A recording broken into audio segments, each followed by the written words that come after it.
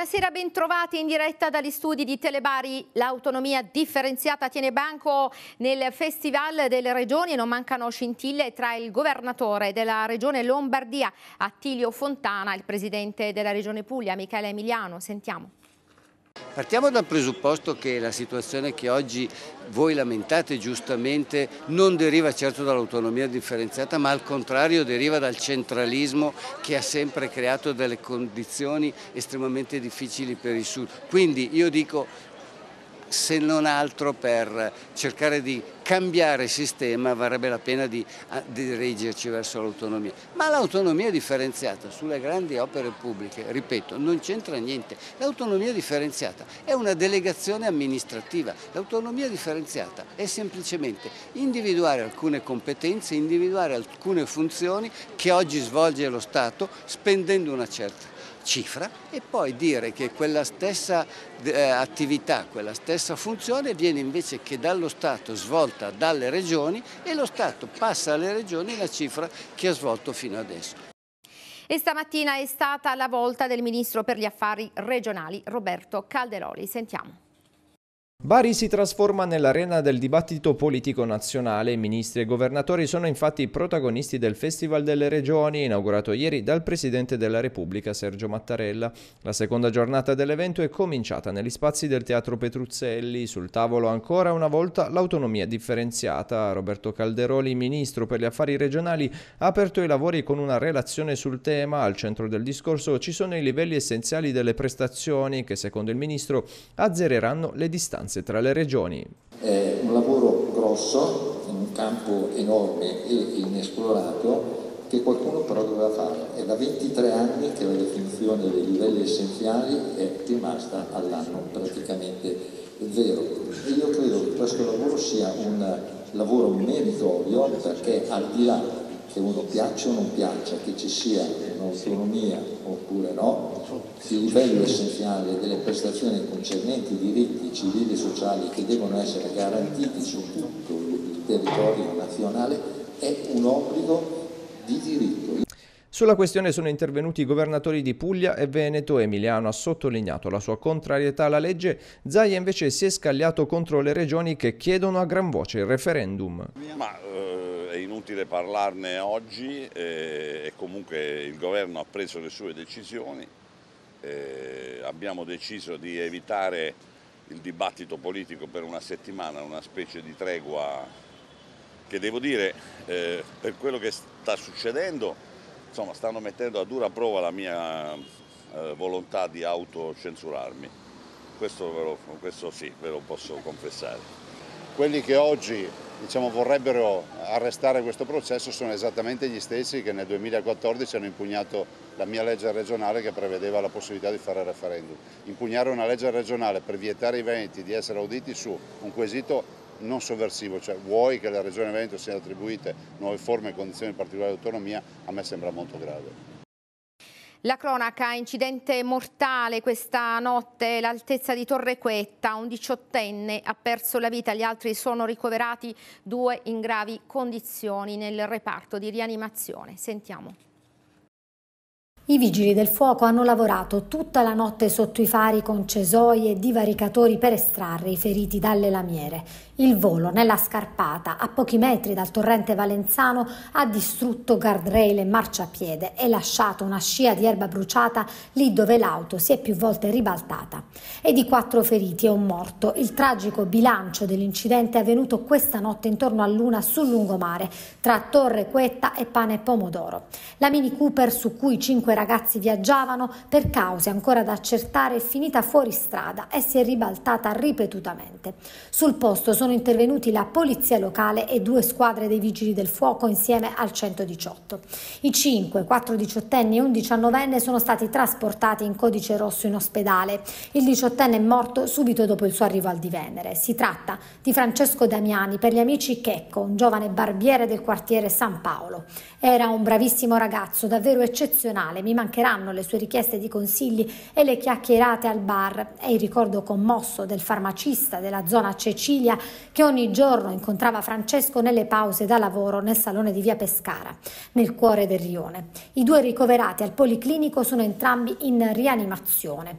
Uno è intubato con trauma cranico e contusioni polmonari, l'altro è stato operato d'urgenza per la lacerazione della milza, fratture varie ed è anche lui intubato. Un terzo ragazzo, meno grave, è ricoverato al di Venere sotto osservazione nel reparto di ortopedia. Il quarto, infine, si trova nella chirurgia generale del San Paolo per sospetta lesione alla milza, ma non è in pericolo di vita. E adesso gli aggiornamenti dal nostro sito www.telebari.it lo facciamo con Tiziano Tridente. Tiziano, buonasera. Sì, eccoci Cristiana dal nostro sito, due ragazzi che prima si sfogano su una panchina per distruggerla e poi mirano la vetrata del Deor di un ristorante tirando un calcione, scheggiando il vetro. È quanto mostrato dalle telecamere di sicurezza del Drop, locale in corso Vittorio Emanuele a Bari che alle due della scorsa notte ha inquadrato la scena appena descritta. Un danno non molto ingente dal punto di vista economico, ma è il sintomo di una situazione che dà l'impressione della classica coperta corta, spiega il proprietario del locale, rispetto ai controlli dell'ordinanza anti-manamovida disposti nella zona dell'Umbertino. Cambiamo argomento, da questa mattina i vigili del fuoco sono impegnati in provincia di Matera e Potenza per decine di interventi legati al maltempo che sta colpendo gran parte della Basilicata, maggiori criticità nel Materano, in particolare a Tursi per l'esondazione dell'Agri, un elicottero del reparto volo di Bari ha portato in salvo tre persone, rimaste bloccate con il loro trattore su un isolotto nell'alveo del fiume per il repentino innalzamento del livello dell'acqua. Sempre nel comune di Tursi, i vigili del fuoco hanno soccorso anche due pastori che per evitare di essere travolti dalla corrente si sono dovuti rifugiare in cima a un albero. In in chiusura gli attimi di, di, paura vissuti oggi su un aereo ITA che dall'aeroporto di Milano Linate era diretto a Bari. A pochi minuti dalla partenza, infatti, un detenuto che era stato appena imbarcato, scortato dalla polizia penitenziaria, ha avuto uno scatto d'ira scatenando il panico a bordo del velivolo. La situazione è stata subito riportata alla calma dagli agenti e l'uomo è stato fatto scendere immediatamente dall'aeromobile partito da Milano e poi atterrato a Bari con circa un'ora di ritardo. A te. Grazie Tiziano, sono al via i lavori di potenziamento di rete ferroviaria italiana della recinzione attorno al Cara di Palese. La decisione è stata presa a seguito di numerosi attraversamenti non autorizzati dai binari ferroviari da parte di persone estranee avvenuti proprio in prossimità del centro. Il servizio. Troppi attraversamenti sui binari rete ferroviaria italiana rinforza la recinzione del Cara di Bari d'intesa con la prefettura. RFI ha avviato i lavori per irrobustire e innalzare la recinzione del centro di accoglienza per richiedenti asilo che si trova a ridosso dei binari ferroviari a nord della città. In passato quella tratta è stata più volte interessata proprio l'altezza del centro da incidenti e pesanti ripercussioni sulla circolazione dei treni perché in diversi casi i migranti scavalcavano cavalcavano la recinzione del centro e attraversavano i binari per andare in città. Si tratta del centro che da sabato scorso ospita anche 12 migranti che sono stati portati in Italia dopo la mancata convalida del trattenimento del centro italiano di Jader in Albania. Da ottobre 2023 a gennaio 2024, riferisce Rete Ferroviaria Italiana in una nota, si sono registrati molti episodi di attraversamento in debito che hanno coinvolto oltre mille treni determinando consistenti ritardi cancellazioni e limitazioni di percorso. Questa misura di prevenzione, adottata da RFI d'intesa con la Prefettura, mira a disincentivare tali comportamenti. Rete Ferroviaria Italiana specifica anche che l'intervento, che consiste nella realizzazione di una recinzione lunga oltre 300 metri, dotata di un pannello superiore con profili antiscavalco, è stato in parte eseguito e se ne prevede il completamento entro il mese di novembre. In arrivo nuovi impianti di videosorveglianza di diverse vie nel capoluogo pugliese. I dettagli in questo servizio di Serena Russo. Un elenco di aree a rischio per le quali si è presentata l'urgente esigenza del monitoraggio. È partita da qui l'analisi che ha portato alla definizione delle strade da dotare di nuovi impianti di videosorveglianza nel capoluogo pugliese.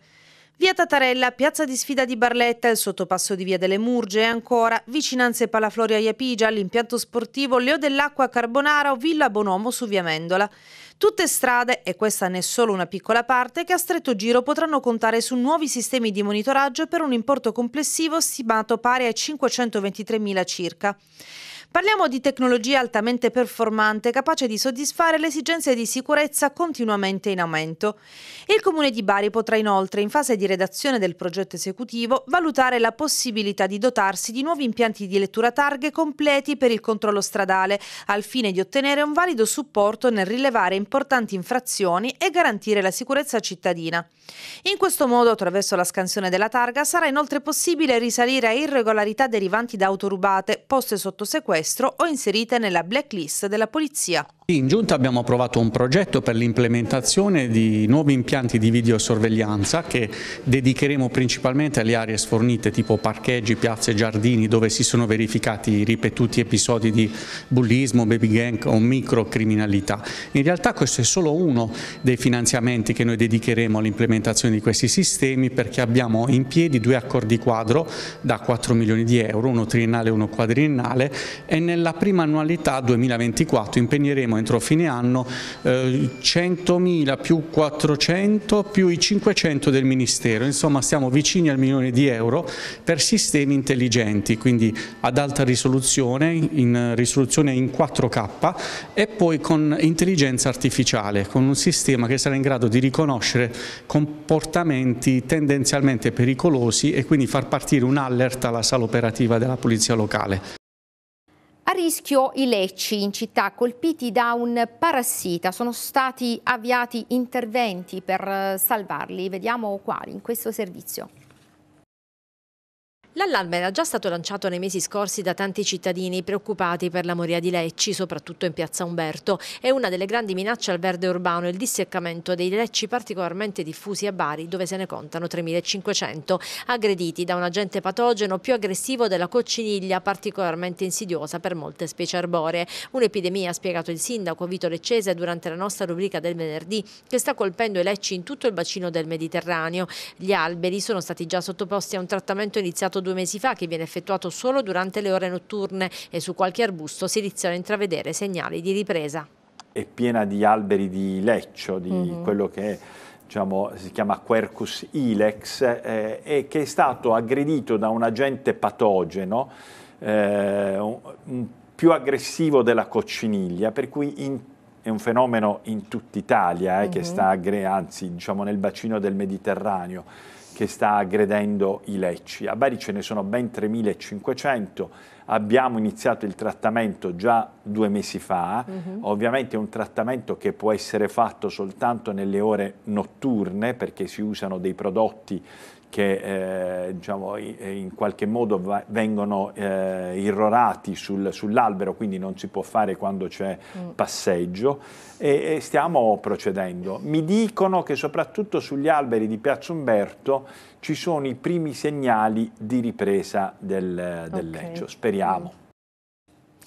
Il divario di genere nelle imprese, il tema al centro dell'incontro in Camera di Commercio per la settimana dedicata alla energia e alla sostenibilità.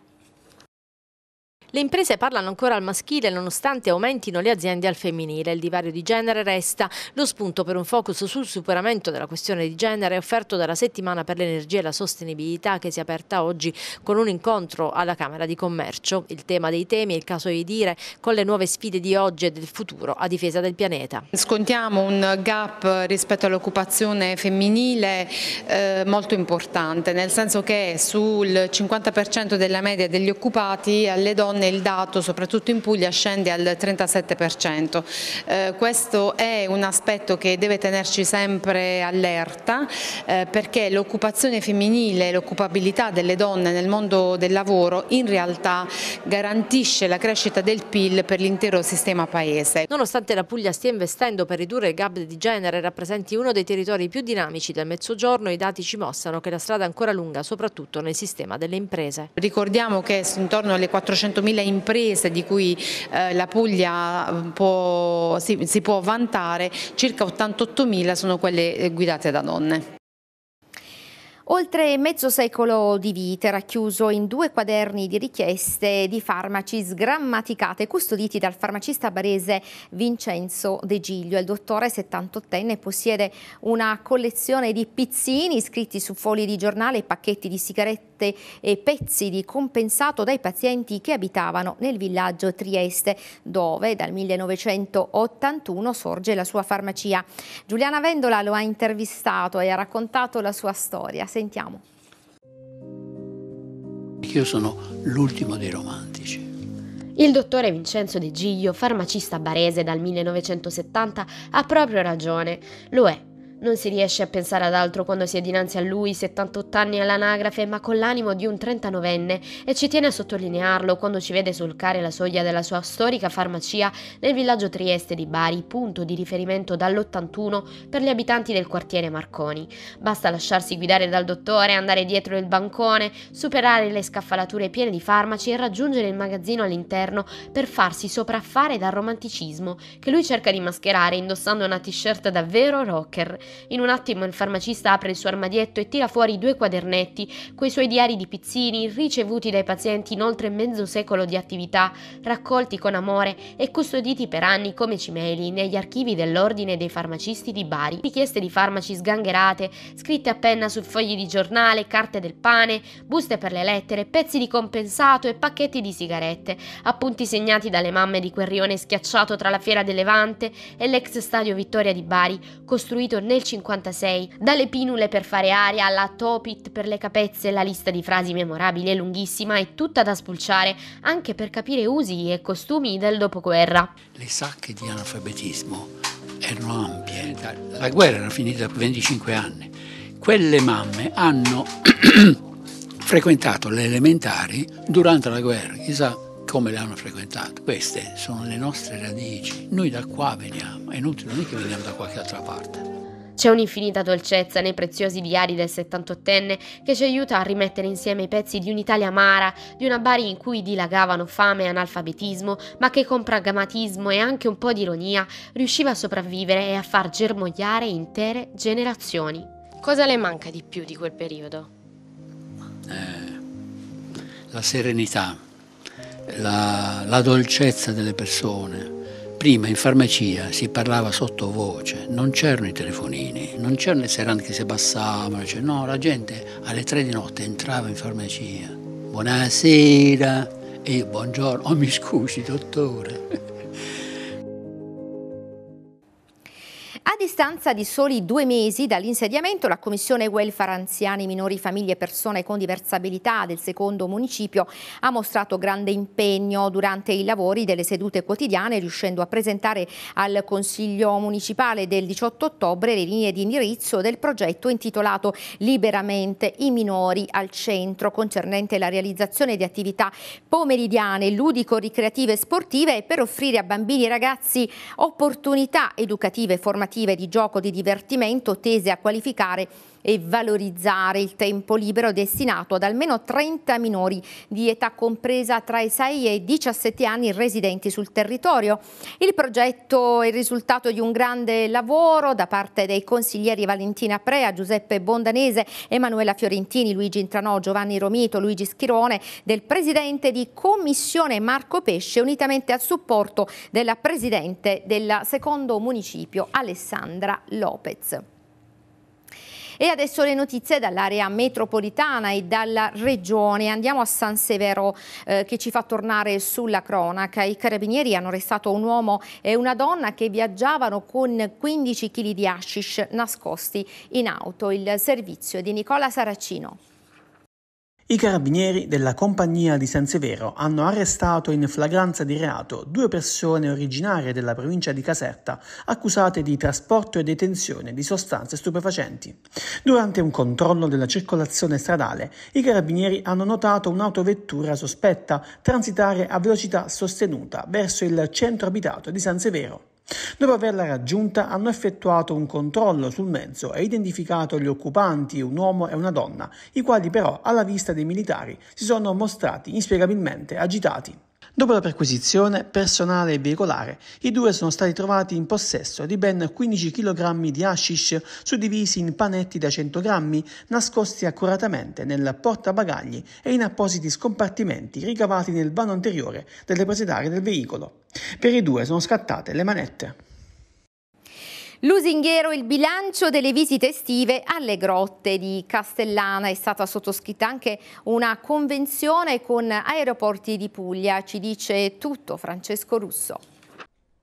Circa 160.000 visitatori tra il 1 giugno e il 15 settembre sono scesi nelle profondità delle grotte di Castellana, il sito carsico più visitato d'Italia. Nel complesso dei 1800 tour proposti a brillare è Elind Cave, lo spettacolo dell'inferno di Dante nella Grave che ha registrato oltre 3.000 spettatori e 12 repliche, una media di 400 partecipanti per le visite alla Grotta Bianca, alle osservazioni astronomiche e alle Speleo Night e Speleo Family con un forte richiamo di fruitori internazionali. Non a caso la promozione del sito carsico è arrivato a luglio anche a New York con la proiezione dello spot in Times Square, la pubblicità sui Busamta Barabari e la collaborazione con Federalberghi. La stagione appena trascorsa ha visto anche un'accelerazione nella crescita dei followers sui canali social delle grotte, con più 60% tra Instagram e Facebook. Stipulata anche una convenzione con Aeroporti di Puglia con una tariffa promozionale sui biglietti acquistati online per l'accesso al tour completo alle grotte. A tutti i visitatori muniti di biglietto aereo in arrivo e partenza dagli aeroporti di Bari, Brindisi e Foggia,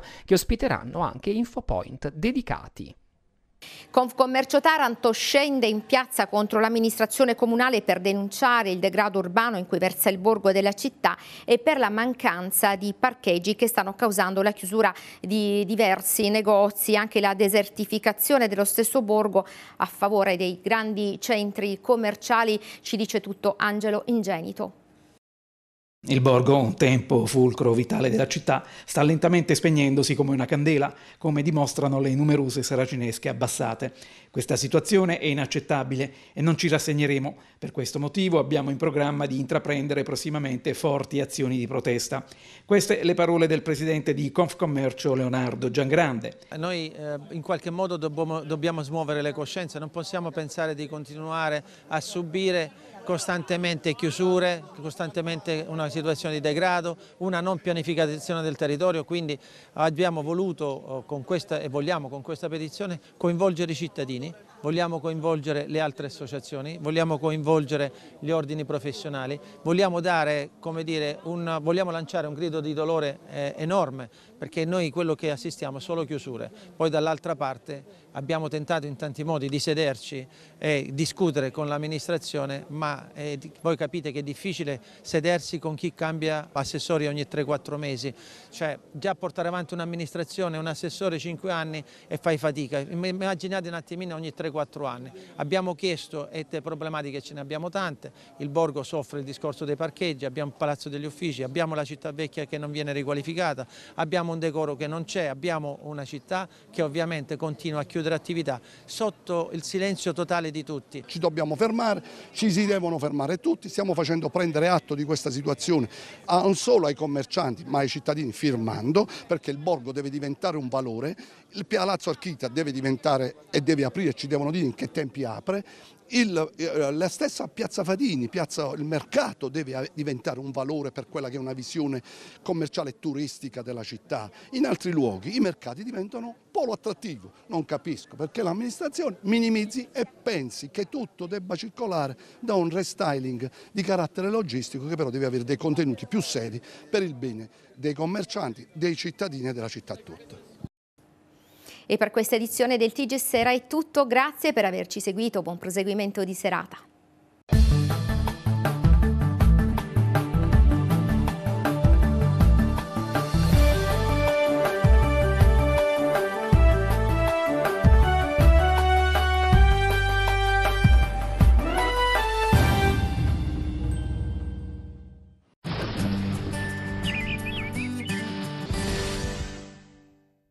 Amici Trebi Meteo, bentornati a questo aggiornamento delle nostre previsioni per la giornata di martedì, che tutto sommato vedrà il centro-nord a pressione atmosferica abbastanza alta, quindi condizioni meteo buone. Il sud Italia invece sente l'influenza di un'area di bassa pressione presente sul Mediterraneo occidentale e che spingerà nuove nuvole e nuove acquazzoni verso parte appunto del nostro sud.